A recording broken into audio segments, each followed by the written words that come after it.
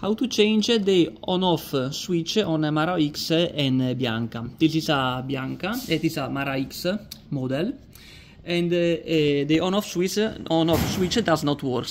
So first of all, with a flat screwdriver, you have to remove the faston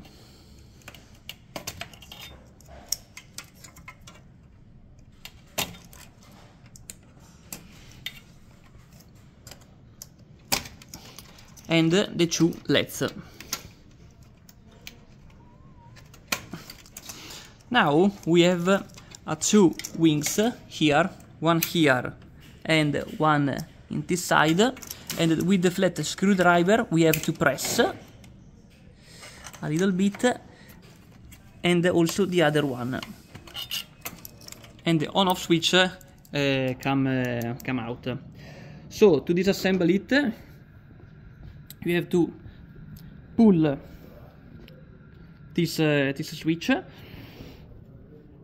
It may be a little bit hard so you, need uh, pliers to remove it. Okay. And you have to change this uh, this part this white part. To assemble it you have to press this button here and push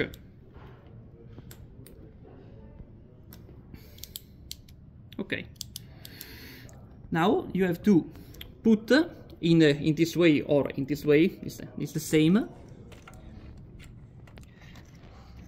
and put between these two wings.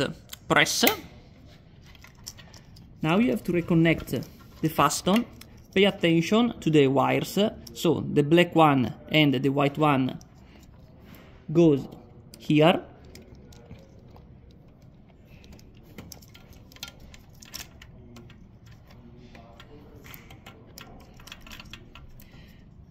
the black one over the black one and the white one over the white one.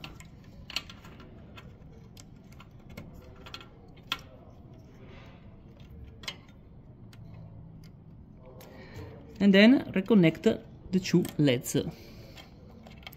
It's the same the, the position.